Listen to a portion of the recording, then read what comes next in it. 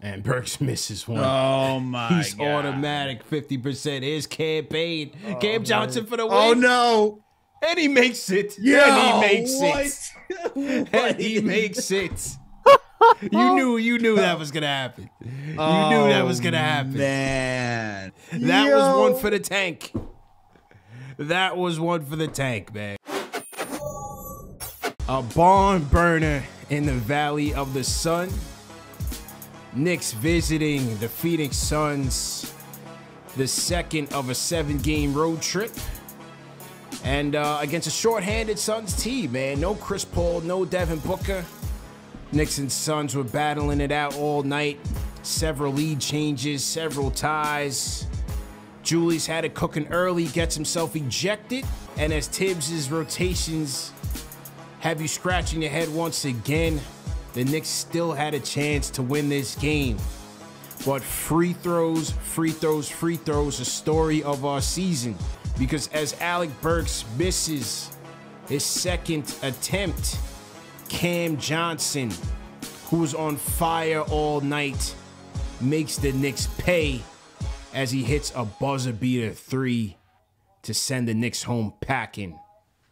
115, 114. Knicks lose a heartbreaker in Phoenix.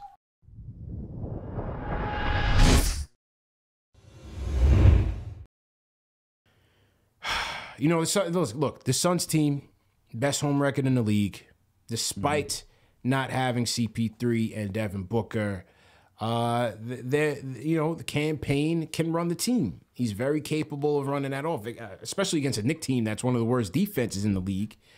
And he showed it showed tonight because this Suns team, one thing they do well, they're number five in the league in assists per game. They move the ball on you. They make you pay.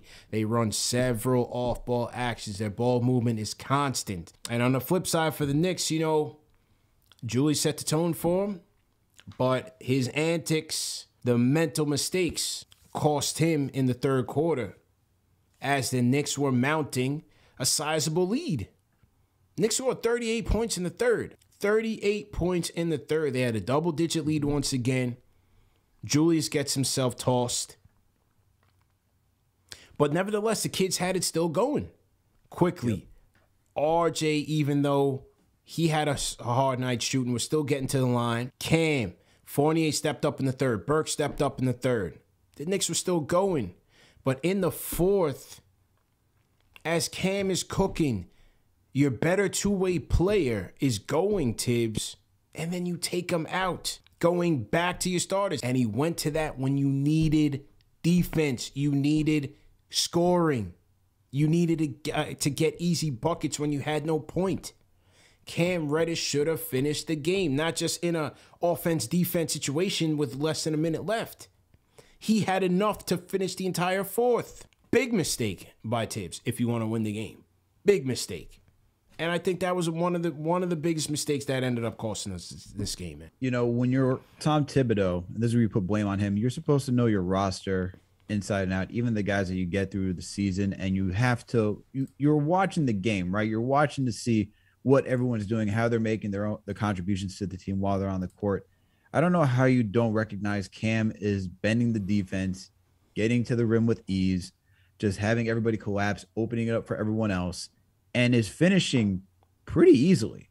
And then his defense, sure, he's taking gambles where you don't probably want him to take, gambles, but I'd rather have him taking gambles than Evan Fournier, who's a turnstile on defense, who's allowing everybody to get by him. Like we we legit saw himself set himself up to get screened and walled off for a Cam Payne uh, to just walk in freely to get a layup. This is the stuff that you got to put on Thibs for you don't know your players, you don't know what rotations you should go to, and instead you put out Evan Fournier. Yes, he had a good third quarter, but you know he's mostly offense and not defense.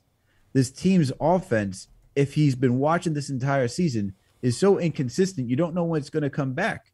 And if you're going to rely on RJ, who's been struggling tonight, six for 26 from the field, he's trying to get into, he's trying to bend the defense. He can't. He's not finishing any, most of his layups. He's not hitting his shots from the perimeter. He's not getting a mid range. So why not leave a guy who's making it easy for himself and just adds another layer, another dimension Yeah. to that offense? This is where you start to see Thibs's shortcomings as a head coach when he doesn't really understand offense. How do you take out a guy who's young, athletic, who's able to cover and defend more positions than Fournier? Right. Like Cam, Cam has a And was long getting to the basket with ease, bro. When your offense is struggling, getting to the basket with ease. But if RJ's not having it, then you see that it automatically goes back to Julius. And he was having tonight. No, no, no, no shade to Julius. He was having it tonight. He was efficient. Nine for nine for 18, was hitting his shots. Uh 100% from the free throw line, six for six. Like he was doing his thing, but you got to keep your calm. Like you're a veteran. You- You're a veteran at this point. Like you're if you're trying to win, you got to know that you're playing. Like stop, stop jawing at the mouth. Just focus on your game. Don't, let, let your game do you the talking for you. Like that is like the the most coined phrase throughout all of sports. Let your game do the talking for you. But that's what happens. They know that you can get Julius like out of it by just talking to him, getting him all get him all on edge, and then you get him completely out of his game, and then he starts forcing the issue, or then he just blows off. And for tonight, you know, he gets ejected Mhm. first time this season. But like, why are you doing? Like, why? Why does it matter? And even when you're watching like the the the, the replay, you see Cam like putting his hands on his back and, and getting getting a little physical with him. Like that's the game. He's Like, a, come on, he's, it's he's a was, it, case, was anything, it was anything egregious. He, he's a head case. You got to be smarter than that. He was playing well. Um, you know, I hate that the league has gotten this off, but they claim that he was ejected for contact with the official, and those are the rules. Rules are the rules. Uh, you got to get your head in the game. We've been talking about this ad nauseum since last year about his mental toughness in these situations.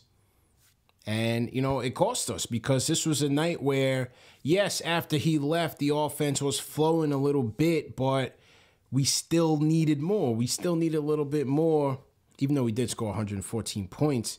Um, you got to you got to keep your head in the game.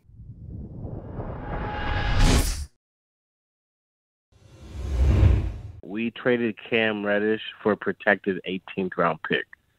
You know, I don't I don't want to hear we trade him for Kevin Knox because, like you said, Kevin Knox is not an NBA player no more. So we literally just traded him for the pick. So is Mhm. Cam Reddish worth Mhm. a protected 18th this year, 14th next year? Mhm. Of course, right? So we we got to start in caliber three, in my opinion. Am I wrong?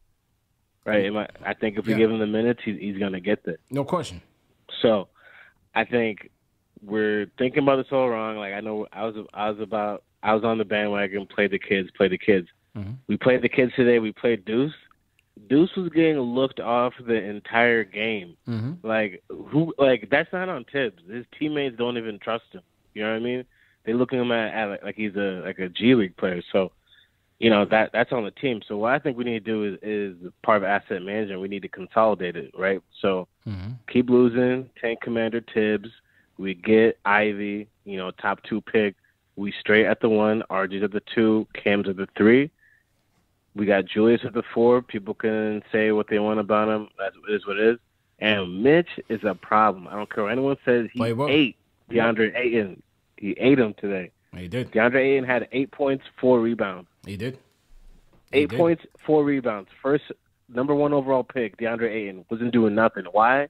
Because CP3 wasn't playing. So I'm tired of hearing that like like Mitch is Mitch is doing this without a point guard. Imagine if you had one. He's absolutely worth all the money he's going to get in the off season. Yeah. So what I'm saying is, our starting five, if we can get that guard, if we can get Ivey, we are set. So then we need to consolidate the bench, right? I'm not, you know, IQ, Grimes, all of them. You know what I'm saying? Especially Obi. I, I agree. I think I think Obi needs to go out before he turns into Knox. Like, how much? How much? How much is he going to be worth? Like after next season, playing behind Julius, we gotta get rid of him. We gotta get rid of him. It's nothing personal, but you just gotta get you gotta get something for him. Package him with Grimes. Like I don't even care at this point. Like we just need to consolidate it because like it's gonna be hard to move off of some of the vet Yeah. contracts. But I think the starting five is actually okay if we can get something at that one spot and a new coach. But I'm like Mitch needs to get paid. Like if we lose Mitch, this is going to be a whole nother issue next season. And I'm not trying to watch the Knicks without Mitch. Mitch saved us tonight, and we still lost. It is it, it's it's to a certain degree that it's it might just be CP. Honestly, there's too many cooks in the kitchen for us. Like every year, come draft time, it's just too many people in our organization that have too many different opinions. Like they're not on the same path. They wasn't on the same path with Frank. They wasn't on the same path with Knox. They wasn't even on the same path with Obi. so mm-hmm. it's like, and and to to be fair to Obi, yes, Obi needs a point guard because he is a pick and roll big, but it's like I thought when they drafted Obi, they was gonna do that scary Terry trade with Randle, mm-hmm. and now that that that ship is sailed. I, as far as this game, like I'm gonna get back to what I called for, and then I'm gonna hang up. As far as this game mm-hmm. goes, this game is the perfect example, and I don't care what nobody says. It's just how I feel. Mm-hmm. The tank is is moving, but the tank is steady moving, but. Randle and Thibs are the biggest problems of this team. It's just it's point blank. Period. T- Thibs he doesn't even realize that the game is changing. Like the game, the the fourth quarter when Randle did what he did, mind you, it wasn't even something that he should have done because that's just a, a, a, play on. And it, and what everybody's saying is that Cam pushed him. If you look back at the replay, Randle pushed him, which got Cam upset and pushed him. And because Randle's just 250 and a and a bulldozer, he didn't even feel it. But he felt it turn around and made it a, a big deal. But mm-hmm my whole thing with those two man is that they they don't they don't Randle's IQ it, it's just not there. Is I I saw it for a whole season for for two and a half seasons. I seen that this guy has no basketball IQ, and when he's not ball dominating, he doesn't help you win. As far as Thibs, Thibs could watch a whole a whole game change and he won't do anything about it. There was no plays called for McBride for Reddish. Even when he's letting RJ just be RJ, it's just RJ's getting going downhill on, on, on a pick and roll. You yeah. don't got him coming off of a curl like Mikal Bridges going downhill, getting easy layups. You got him working hard. It's just like I, I just feel like, man, they need a point guard. I don't care what it takes. This year, this summer, any like the only four people that I want on this team that should stay no matter what is one, Mitch, pay that man. He, he worked for every dollar bill. Keep mm-hmm. him.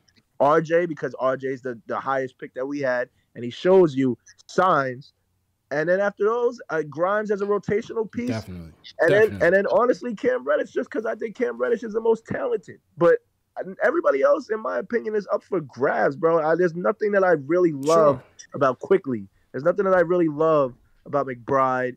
And Obi needs a point guard, but yeah. he can't he can't affect the game. Like it, go after Jaden Ivey or Brunson no matter what. And okay. if that means trading up in a draft, you got to do it, man. Ivey, Brunson, no matter what. I'm out. Peace and love.